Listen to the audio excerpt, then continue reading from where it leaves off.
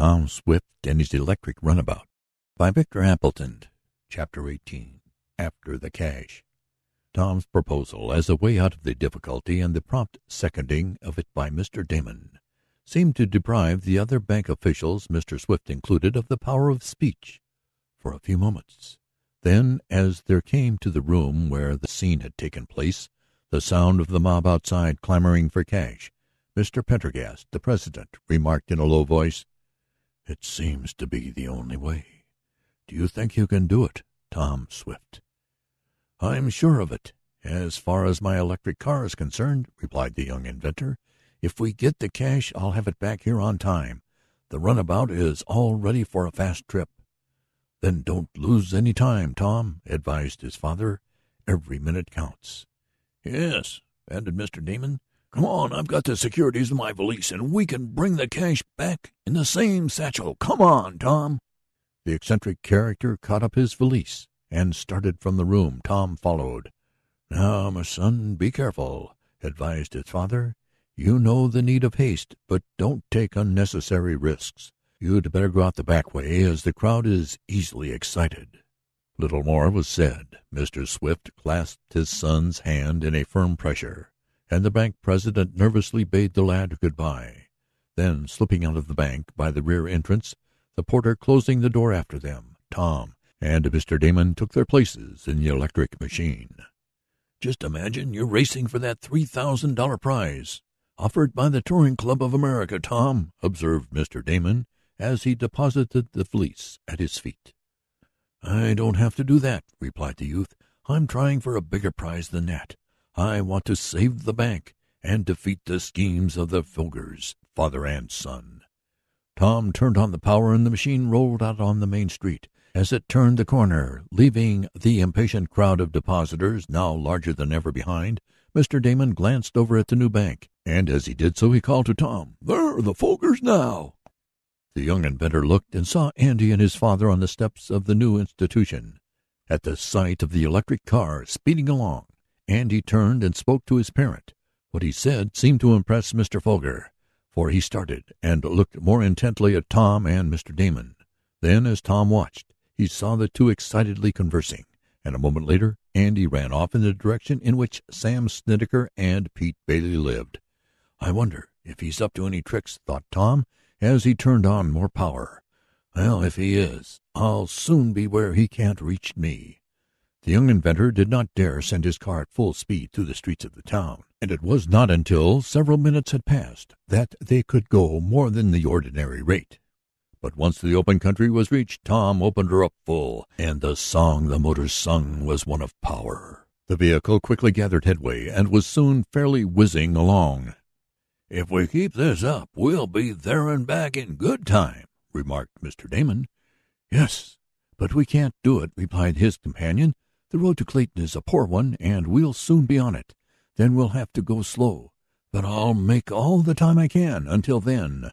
So for several miles more they crept along, at times having to reduce to almost a walking pace. Because of bad roads, Mr. Damon looked at his watch almost every other minute. "Eleven o'clock," he remarked, as they passed a milestone. "And we're not halfway there, bless my gizzard! But I'm afraid we won't make it, Tom. We left about ten, and we ought to be back by two o'clock to do any good. That's four hours, and it will take some time to transfer the securities and get the cash. Every minute counts."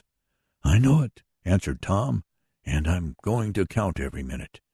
With eager eyes he watched every inch of the road to steer to the best advantage. His hands gripped the wheel until his knuckles showed white with the strain and every now and then his right hand adjusted the speed lever or the controller handle, while his foot was on the emergency brake, ready to stop the car at the first sign of danger.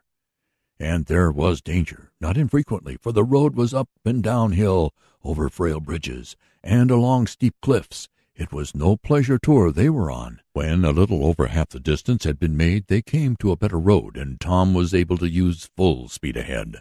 Then the electric car went so fast that, had it not been for the steel windshield in front, Mr. Damon, at any rate, would have been short of breath. "This is going some!" he cried to Tom. The lad nodded grimly and shoved the controller handle over to the last notch. Then came a bad stretch, and they had to slow down again. As they were about out of it came a little flash of fire, and the motor stopped. "Bless my overshoes!" cried Mr. Damon. "What's that? A fuse blown out?" "No," replied Tom, with a puzzled air. "But something has gone wrong." Hastily he got out and made an examination. He found it was only one of the unimportant wires which had short circuited, and it was soon adjusted. But they had lost five precious minutes. Tom tried to make up for lost time, but came to a hill a little later, and this reduced their speed. "You think we can make it before twelve?" asked Mr. Damon anxiously. "We've got to if we're to get back before three, Tom." "I'll try," was the calm answer, and Tom's jaw was shut still more tightly. Once again came more favorable roads, and pushing the car to the limit the occupants were rejoiced, a little later, as they topped a hill, to come in sight of a fairly large city. "There's Clayton!" cried Mr. Damon. Ten minutes later they were rolling through the main street, and as they stopped in front of the bank the noon whistles blew shrill and noisily. "You did it, Tom!" cried Mr. Damon, springing out with the valise of securities. "Now be ready for the return trip. I'll be with you as soon as possible."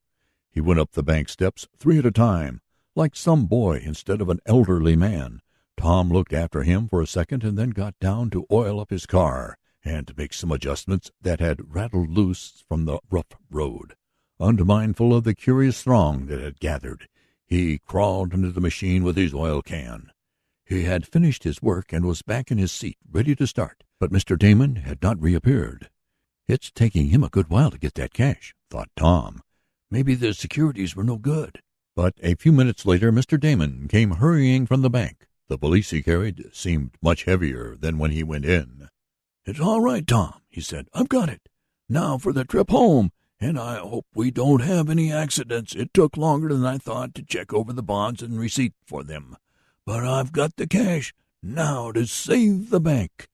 He took his place beside the young inventor, holding the valise between his knees, while Tom turned on the power and sent the car dashing down the street and toward the road that led to Shopton.